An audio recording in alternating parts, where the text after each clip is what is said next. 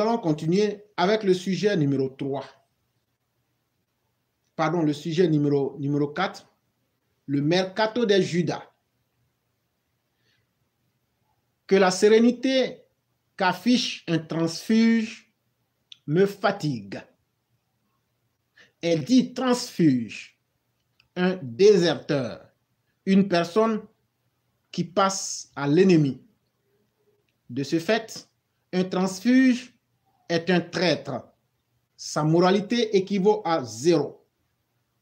Un traître, dans une société qui se respecte, est condamné à raser les murs et demeure dans la discrétion. Dans mon pays, être un Judas Iscariote vous donne de la valeur. C'est un tremplin pour plusieurs d'entre nous. Ils ont compris que la trahison, d'où qu'elle vienne, est une aubaine pour n'importe quel médiocre avide de postes juteux. Et ça marche. Le mercato est lancé. Avis donc à tous les cancres, à vos curriculum vitae. N'oubliez surtout pas de mentionner entre guillemets félon sous votre identité, car en réalité, c'est ce que vous êtes.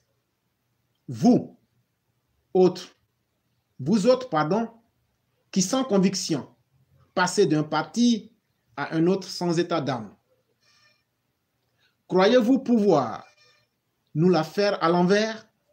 Que nenni Des acteurs de mauvais goût de votre acabit, nous en avons tellement vu que nous sommes aguerris. Quels sont ces individus qui oscillent ainsi entre deux, parfois trois pôles? Croyez-vous qu'ils soient représentatifs d'une idéologie? Tout ce qui les attire reste le gain facile, la célébrité.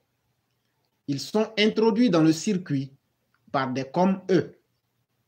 Ne dit-on pas que les oiseaux de même plumage volent ensemble? Nous dirons aussi qu'ils incarnent bien l'image du molosse et sa déhontée façon de s'asseoir. Ils sont dans un parti qui pour eux est une antichambre en attendant mieux. Et c'est en ce moment qu'ils tirent à boulet rouge sur leur cible du moment.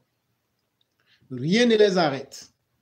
Ils ont le cul entre deux chaises avec la langue fourchue et un zèle digne d'un idiot. Dès qu'ils obtiennent ce pourquoi ils se sont prostitués moralement, ils sont aux anges.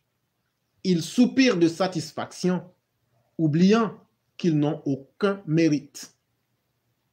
Ils affichent alors une sérénité sans pareil. Source Massiata Blanc.